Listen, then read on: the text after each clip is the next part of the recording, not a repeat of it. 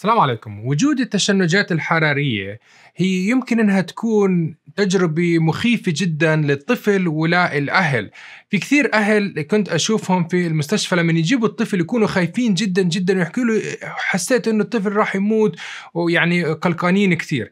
فالتشنجات الحرارية لا شك أنه فيها كثير من التفاصيل ومتأكد لو كان عندك طفل أو عندك طفل عنده تشنجات حرارية على بالكم كثير من الأسئلة مش لاقيين إلها جواب. وإن شاء الله في هذا الفيديو راح نجاوب جميع الأسئلة وكل المعلومات المهمة عن التشنجات الحرارية وراح نعدل بعض العلاجات والمفاهيم الخاطئة اللي تغيرت مع الدراسات العلمية الجديدة. أنا دكتور عمر دنون أخصائي طب الدماغ والأعصاب من أمريكا. في هذا القناة إن شاء الله راح تلاقوا جميع المعلومات عن مرض الصرع بمعلومات عالية الجودة من المصدر وبطريقة سهلة للفهم بشكل بسيط ما هي التشنجات الحرارية؟ التشنجات الحرارية هي تشنجات تحصل عند الأطفال عادة من سن ستة شهور إلى سن خمس سنوات وتحصل عند الأطفال في غضون التهاب أو عدوى يا إما فيروسية أو عند وجود الحرارة. مع استثناء أي التهابات في الدماغ. نسبة حدوث التشنجات الحرارية بشكل عام من 2 إلى 5% من الأطفال في المجتمع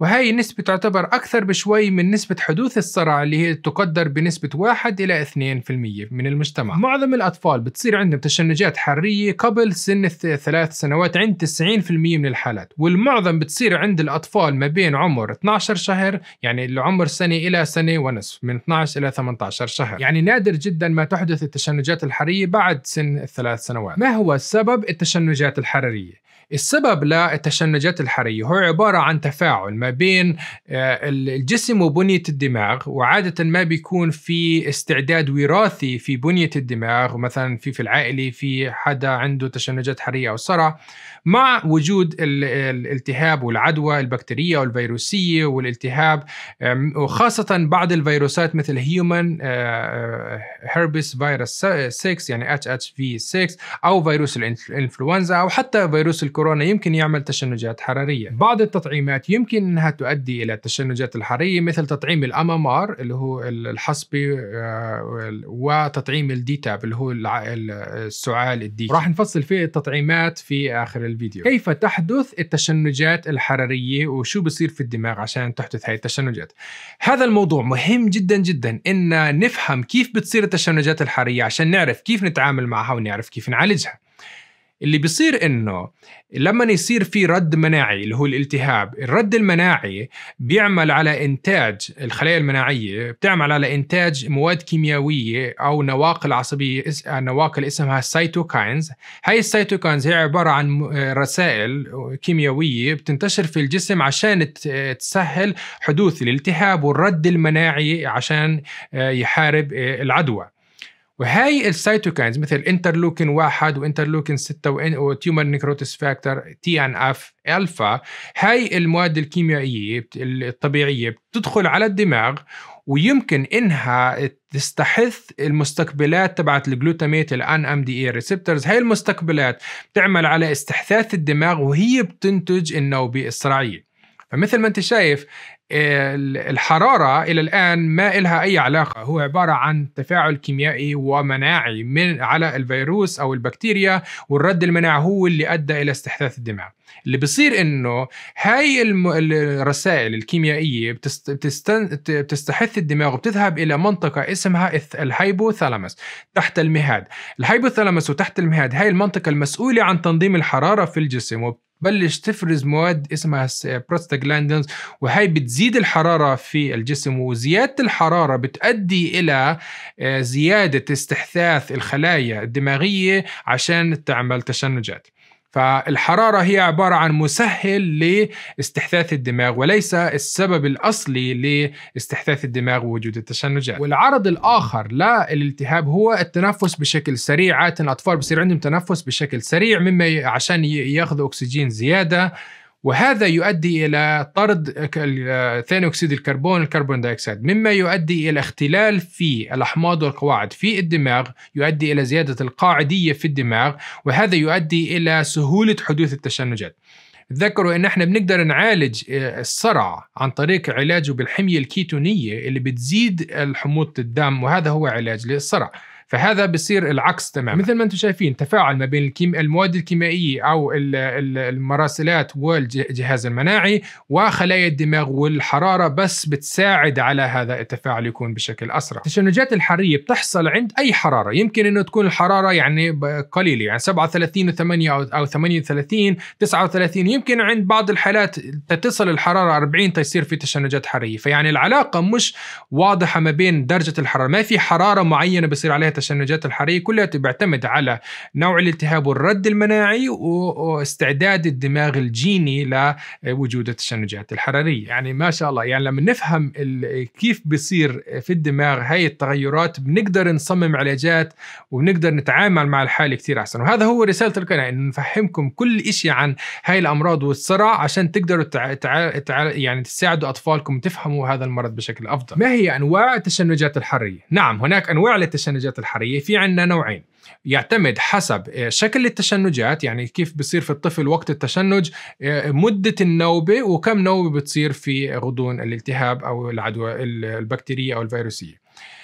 وفي عندنا نوعين. النوع الأول اللي هو التشنجات الحراريه البسيطة اللي هي ال simple febrile seizures والتشنجات الحراريه المعقدة ال complex febrile seizures التشنجات الحراريه البسيطة بتكون عندنا في تشنج عام في جميع الجسم جميع الجسم الطفل بيكون يرج وصار عنده تشنج.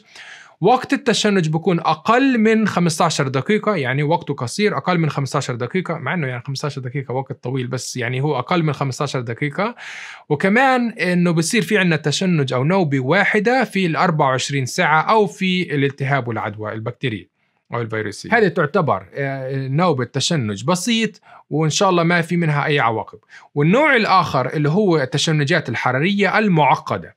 في التشنجات الحراريه المعقدة بتكون في عندنا جزء واحد من الجسم يعني جزء اليمين مثلا إيد وإجر أو يعني جس جزء واحد من الجسم بيكون فيه رجفة يعني بيكون في صرع يعني نوبات بؤرية أكثر ويمكن النوبة تقعد أكثر من 15 دقيقة الوقت وكمان يمكن تحدث أكثر من نوبة في 24 ساعة أو في وقت الالتهاب. فإذا هذه الأشياء صارت بتكون تشنجات حرارية معقدة ويمكن كمان إنه التشنجات ما توقف وتضلها أكثر من 30 دقيقة. وقتها بصير اسمه حالة صرعية آه، حرارية يعني febrile status epilepticus وهذا يستدعي علاج آه، في المستشفى. بالعادي في تشنجات الحرارية بتحدث نوبة التشنج والطفل بتوقف النوبة. بعدين يمكن يكون مثلا نعسان مدروخ تعبان لمدة خمسة إلى عشر دقائق بعدين ترجع الأمور طبيعية. إذا الطفل طول فترة أكثر بعد النوبة وما صحي وضله تعبان وما بتقدر تصحيه يمكن يكون لا سمح الله عنده التهاب في الدماغ أو السحايه فمهم جدا نعرف هذه المعلومة إذا في عندكم أي استفسار عن هذا الموضوع يا ريت تكتبوا لي في التعليقات وأنا إن شاء الله برد على جميع التعليقات وإجابات على أسئلتكم بس يا ريت تحضر الفيديو لنهايته عشان راح أجاوب الكثير من المعلومات آه، قبل ما تكتبوا التعليق. هل تحدث التشنجات الحراريه تلف في الدماغ؟ بالعادي معظم التشنجات الحرارية وخاصة التشنجات الحرارية البسيطة ما تحدث أي تلف في الدماغ وليس لها أي عواقب طويلة الأمد. ولكن في بعض التشنجات الحرارية المعقدة وخاصة التشنجات الحرارية المعقدة طويلة الأمد اللي قعدت أكثر من 30 دقيقة نعم يمكن إنها تؤدي إلى تلف في الدماغ وتصلب الحصين وبعض المشاكل الأخرى اللي لها عواقب طويلة الأمد مثل ما راح نحكي في آه، نهاية الفيديو. ما هي الفحوصات اللازم عملها وتقييم الطفل عند حدوث التشنجات الحرارية؟ في معظم التشنجات الحرارية وخاصة التشنجات الحرارية البسيطة مهم جدا أنه نعاين الطفل والمريض يا إما عن طريق طبيب الأطفال أو آه، بياخذوه الأهل للطبيب العام أو للمستشفى فبداية نعمل آه، فحص للسيرة المرضية. يعني نسأل شو صار مع الطفل كيف كانت النوبة مدة النوبة هل في أي تاريخ عائلي عائلي من نوبات صراعية أو تشنجات حرية مسبقة وما إلى ذلك. وبنسأل إذا كان في التهاب في صار أي آه، عدوى بكتيرية فيروسية رشح كل هاي الأعراض عشان نعرف شو صار مع الطفل. وبنسأل عن إذا كان في صداع كان في آه، آه، مراجعة أو في مشاكل في الرقبة يمكن هذا تؤدي إلى نشك في إنه وجود عندنا مثلا سحاية في الدماغ بيكون الرقبة ستيف يعني بتكون شادة وما بتحرك الطفل منيح. بنعمل فحص سريري عشان كل هاي الأعراض وبس. يعني في معظم الحالات إذا كانت تشنجات حرارية بسيطة ما في داعي نعمل أي فحوصات أخرى آه، بنعطي علاج للمرض اللي صار يعني لالتهاب البكتيريا والفيروس بنعطي خافض حرارة والأمور بتكون طيب وما في مشكلة وبتبع الطفل مع طبيب الأطفال. ولكن في بعض الحالات إذا كانت تشنجات حرارية معقدة طويلة الأمد أو إحنا شكينا بوجود التهاب في الدماغ أو في السحايا أو في مشا... مشاكل أخرى يمكن نعمل فحوصات أكثر. نبدأ في فحوصات للدم يمكن نعمل فحوصات للجلوكوز للجلوكوز الدم لأنه هبوط الجلوكوز يمكن يؤدي إلى تشنجات. آه، الصوديوم يمكن الصوديوم بيؤدي إلى وجود التشنجات قلة الصوديوم. كمان آه، فحوصات يمكن نعمل آه، زراعة بكتيريا في الدم خاصة عند الأطفال صغيرين السن أقل من سنة وصار عندهم حرارة. كمان يمكن نعمل فحوصات حسب التقييم الطبي. لمثلا نعمل فحوصات مسحة للفيروسات أو للحلق لل strep throat مثلا البكتيريا الحلق أو مثلا لصورة للصدر أو للبطن أو أو صورة تلفزيون البطن أو أو تحليل بول عشان نعرف إنه هل في التهاب. كل هاي الفحوصات حسب التقييم الطبي نختار الفحص المناسب للطفل. عمل صور للدماغ مثل آه، صورة طبقية CT scan أو brain أم أو عمل رنين مغناطيسي للدماغ. ما بنعمله بشكل روتيني التشنجات الحرارية إلا إذا شكينا بوجود مشكلة في الدماغ يمكن نعمل هذا الفحص. وفي النهاية عمل آه، تخطيط الدماغ تخطيط الدماغ بالعادة لا يوجد داعي لعمل تخطيط الدماغ في التشنجات الحرارية. فقط بنعمله إذا شكينا بوجود مرض الصرع وإذا حدثت التشنجات بدون أي حرارة فهذه يمكن يكون في مرض الصرع بنعمل تخطيط للدماغ. مثلا في عنا حالة طفل صغير اسمه محمد آه، محمد عمره 20 شهر. يعني تقريبا سنة ونص وصار معه آه، التهاب فيروسي صار عنده رشح وصار عنده كحة وارتفعت حرارته محمد صار عنده تشنج. تشنج في كل جسمه لمدة دقيقتين. وقفت التشنج جابوا محمد على الطوارئ. فحصنا الطفل كان الفحص طبيعي وكان عنده آه، حرارة مع آه، مع هذا التشنج. كانت حرارته 38 ونص. أعطيناه خافض حرارة نزلت الحرارة الطفل صار يلعب وصار ياكل وكل شيء كان طبيعي. هذا يعتبر تشنج حراري بسيط ما في داعي نعمل أي شيء بنروح المريض على على البيت ويمكن نعطيه علاج آه، عشان يعالج النوبات إذا حصلت في المستقبل مثل ما راح نحكي آه، في الجزء القادم هون. كيف يمكن إنه نساعد الطفل وقت حدوث نوبة التشنجات الحرارية طبعا في تشنجات الحراريه لما تحدث مثل ما حكينا إنه يمكن تكون شيء الواحد يعني بخاف منه بخاف على الطفل فمهم إنه نحافظ على هدوءنا قدر الإمكان يعني. آه ونشوف الوقت للنوبه مهم جدا نطلع على الساعة وقت بداية النوبه عشان نشوف كم من الوقت النوبه آه, استمرت. لأنه آه وقت حدوث وقت النوبه مهم جدا للعلاج وتعريف نوعية التشنجات الحراريه ثاني شيء بنحافظ يحافظ على بيئة آمنة إنه ما يضرب راسه في أي شيء حواليه أو أي جسم حاد عشان يجرح نفسه أو ما يوقع. ثالث إشي بنقلب الطفل على جنبه اليمين عشان عشان وبنحط إشي صغير تحت راسه عشان ما يهز راسه مثلا أو ما إذا راجع أو أو طلع زبد من ثم يطلع خارج الفم. مهم جدا ما نحط أي شيء في فم الطفل أو أي إنسان عنده نوبه صرع لأنه يمكن تكسر أسنانه أو أو تؤدي إلى جرح. ولا يوجد شيء اسمه بلع اللسان في نوبات الصرع هذا خرافي لا يمكن أصلا بلع اللسان اللي بيحصل إنه مع النوبه الواحد بيكون شاد على حاله. لو صارت شفة الطفل زرقاء وقت النوبه هذا لا يعني إنه الطفل انخنق. هذه آه، ردة فعل طبيعية على النوبات الصراعية وعادة عشان الدماغ يجي كل الدم وما يكون موجود في أجزاء أخرى من من الجسم. ما في منها مشكلة بترجع طبيعية في غضون دقائق. ما في مشكلة يعني إن شاء الله. وإذا استمرت نوبة نوبة التشنج أكثر من خمس دقائق وقتها يمكن نعطي علاج يوقف هاي النوبات آه، مثل العلاجات اللي رح نحكي عنها في في في وقت العلاج. هل يمكن للنوبات التشنجات الحرية إنها ترجع مرة أخرى بعد ما حدثت أول مرة؟ الجواب نعم تقريبا عند 30% بس ثلث الحالات بترجع النوبات التشنجات الحرية يمكن مرة أو مرتين في الحياة عبين ما الطفل يكبر في العمر وتبطل تيجي بالمرة. إذا حدثت التشنجات الحرية قبل سن السنة يعني أقل من سنة حدثت عمر ست شهور ولا سبعة نسبة رجوعها بتكون أكثر تقريبا 50% من الحالات ترجع هاي النوبات مرة أخرى. كمان من العوامل اللي بتؤدي إلى رجوع النوبات التشنجات الحرية أكثر إذا كانت الحرارة قليلة جدا يعني بس 37 ونص وإشي بلشت التشنجات الحرارية أو حدثت التشنجات الحرارية قبل ما تحدث الحرارة بس أول ما صار الطفل مريض على طول بلش يتشنج قبل ما الحرارة تزيد أو إذا كان عند الطفل تأخر في النمو والتطور يمكن يكون في مشكلة في الدماغ وأدت إلى وجود هاي التشنجات أو إذا كان في تاريخ عائلي يعني واحد من العائله الأب الأم أو الأخوة والأخوات صار عنده تشنجات حرية معناها يمكن إنها تزيد نسبة رجوع التشنجات الحرية عند الطفل. والمعظم لما ترجع عادة ترجع مرة واحدة في الحياة وبعدين الطفل بيكبر وتبطل تيجي وفي حالات نادرة يمكن ترجع مرتين أو ثلاث أو حتى أربع مرات. إذا كان الطفل بتيجي عنده تشنجات حرارية كثيرة كل ما يمرض كل ما يصير عنده حرارة بدون حرارة وكل شيء دائما بتصير يمكن يكون في عنده مرض الصرع وخاصة متلازمة درافي بتكون عنده تأخر في النمو أو تشنجات حرارية ومشاكل أخرى. هذه تعتبر مرض الصرع وليس تشنجات حرارية. ومرض الصرع بيكون في عندنا تشنجات من دون حرارة ولا التهاب. وإحنا بنعرف إنه إذا كان حدا عنده مرض الصرع صرع وصار عنده التهاب في فيروس أو عدوى يمكن إنها تحدث تشنجات ولكن هذه لا تعتبر تشنجات حرارية يعني بدها علاج مثل علاج الصرع بشكل عام. فما تخربطوا ما بين مرض الصرع والتشنجات الحرارية في بينهم فرق. كيف نقدر نعالج التشنجات الحرارية؟ علاج التشنجات الحرارية لحسن الحظ إنه معظم التشنجات الحرارية بتوقف لوحدها عند بتحدث أقل من خمس دقائق معظم دقيقة دقيقتين بتوقف ما في مشكلة من من ذلك. إذا التشنجات قعدت لفترة أطول واستمرت أكثر من خمس دقائق وقتها يمكن إنه نعطي علاجات لوقف هاي التشنجات. في المستشفى بنعطي علاجات مثل اللورازيبام والأتيفان أو الديازيبام أو الميدازولام. كل هاي تعتبر مهدئات وتوقف التشنجات نعطيها إبر أو رشاش في الأنف أو في الشرج.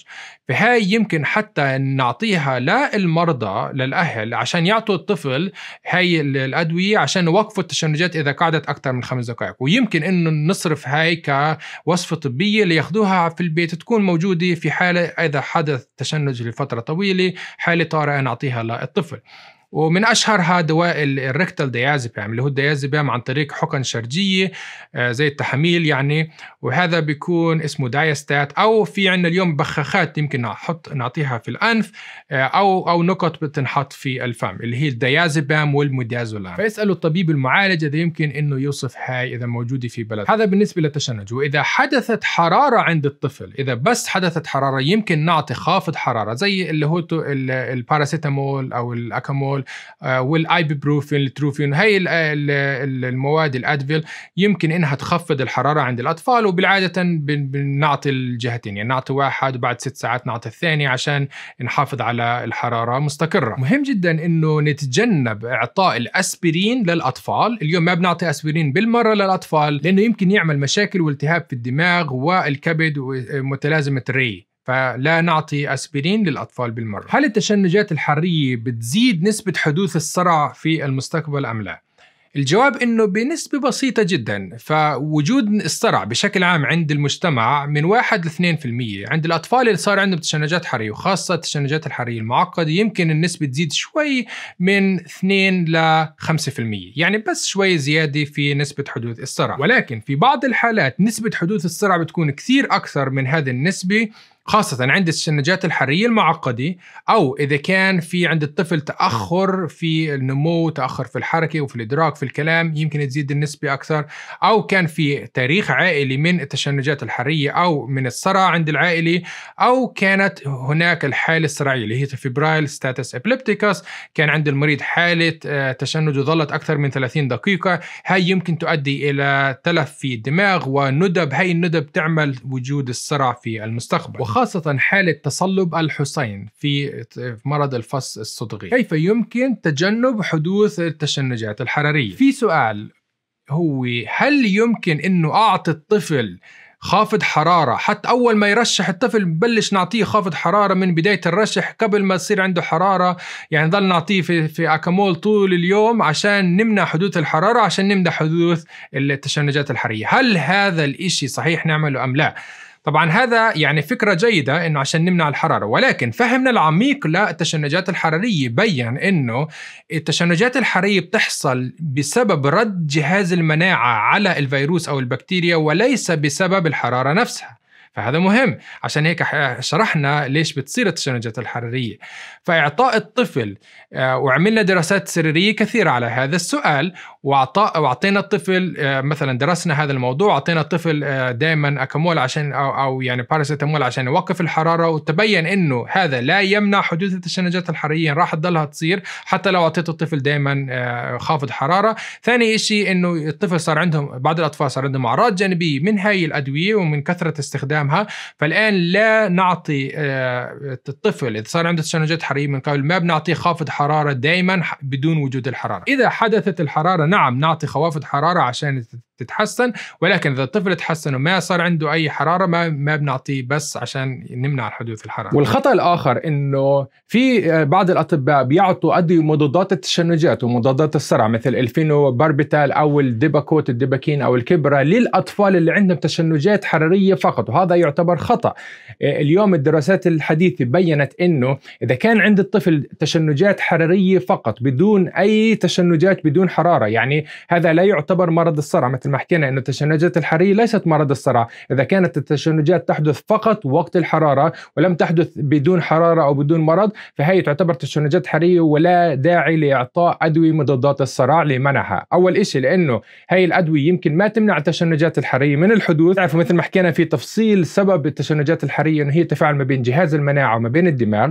والشيء الثاني إنه يمكن هاي الأدوية تعطي أعراض جانبية للأطفال تأثر على نمو الدماغ فلا ينصح الآن باعطاء أدوية مضادات التشنجات للأطفال اللي عندهم تشنجات حراريه فقط. أما إذا كان الطفل عنده مرض الصرع مثبت في الفحوصات وكان عنده تشنجات بدون حرارة فهذا يعتبر علاج لمرض الصرع ويمكن إنه يأخذها. فهذا مهم جدا التفريق بين هذه الحالتين. يعني ما أحسن العلم والمعرفه عشان هيك بنجدد العلم وبنجدد التوصيات الطبية وبضل العلم يتطور. عشان هيك دائما بعطيكم كل الأشياء الجديدة في هذا العلم والطب. هل يمكن إعطاء الطفل التطعيمات